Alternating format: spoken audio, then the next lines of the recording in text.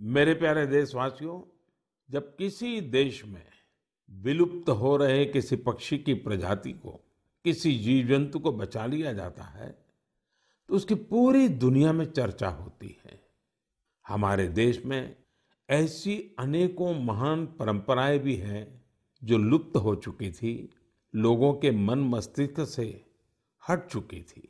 लेकिन अब इन्हें जनभागीदारी की शक्ति से पुनर्जीवित करने का प्रयास हो रहा है तो इसकी चर्चा के लिए मन की बात से बेहतर मंच और क्या होगा? अब जो मैं आपको बताने जा रहा हूँ, वो जानकर वाकई आपको बहुत प्रसन्नता होगी। विरासत पर गर्व होगा।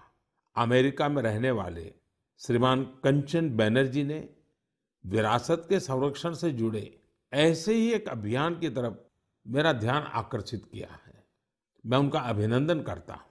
साथियों, पश्चिम बंगाल में हुगली ज़िले के बांसबेरिया में इस महीने त्रिवेणी कुंभो महोत्सव का आयोजन किया गया।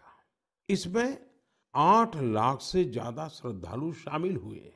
लेकिन क्या आप जानते हैं कि ये इतना विशेष क्यों है?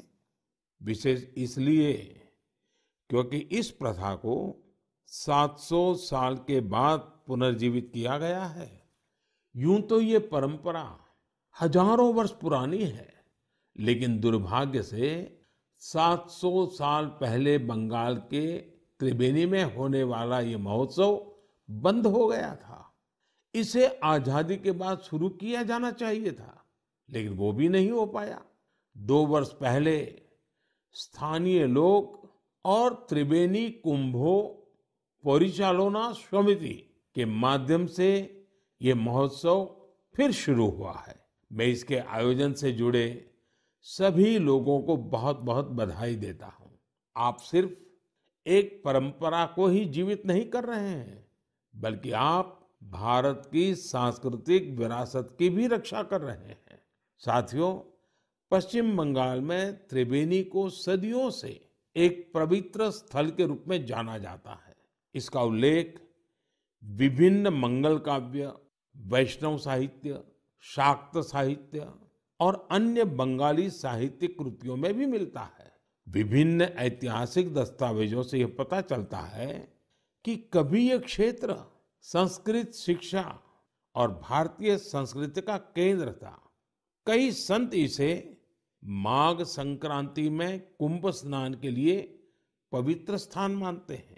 त्रिवेणी में आपको कई गंगा घाट, शिव मंदिर और टेराकोटा वास्तुकला से सजी प्राचीन इमारतें देखने को मिल जाएगी।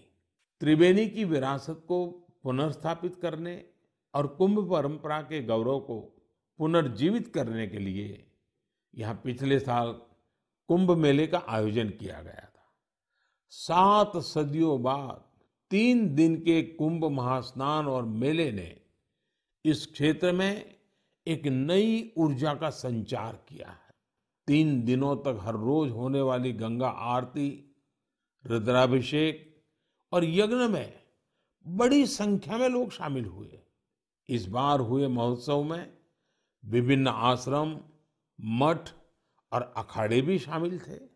बंगाली परंपराओं से जुड़ी विभिन्न विधाएँ जैसे कीर्तन, बाउल, गोडियो नृत्य, श्रीखोल, पोटेर गान, छऊ नाच, शाम के कार्यक्रम में आकर्षण का केंद्र बने थे।